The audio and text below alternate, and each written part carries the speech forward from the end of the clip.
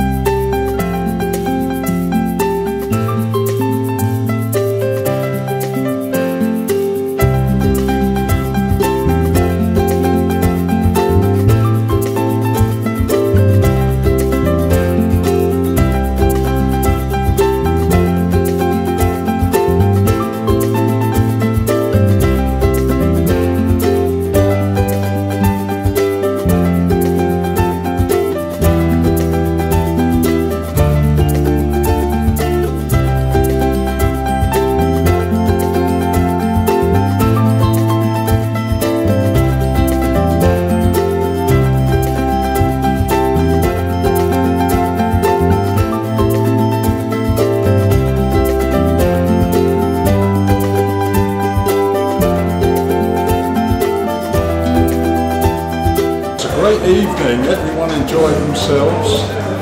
Uh, it was a sellout again, so we raised lots of money for our charity account, uh, which we'll be spending locally.